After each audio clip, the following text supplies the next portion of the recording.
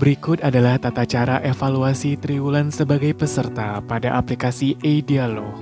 Silahkan login ke aplikasi e-dialog, masukkan email, password, dan memilih peran sebagai peserta. Untuk membuat realisasi triwulan, pegawai wajib menyelesaikan penilaian semua bulan pada triwulan tersebut. Pegawai memilih menu evaluasi, lalu pilih triwulan, lalu klik triwulan berapa yang akan dievaluasi. Akan muncul tampilan sebagai berikut. Klik tombol kuning realisasi, isi semua realisasi tiap indikator.